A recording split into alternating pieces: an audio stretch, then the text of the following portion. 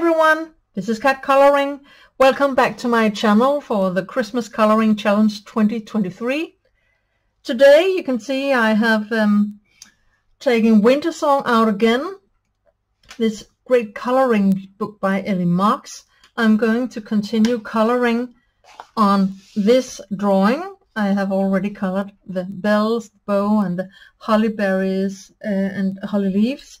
So what's left now are the pine cones and the wood. So today I'm going to color the rest. So this will be a little longer video than the others. And I'm going to continue using the Faber-Castell Polychromos for this drawing because the rest of it is colored with the Polychromos. So I will continue coloring the rest with the same coloring pencils. Let's get started.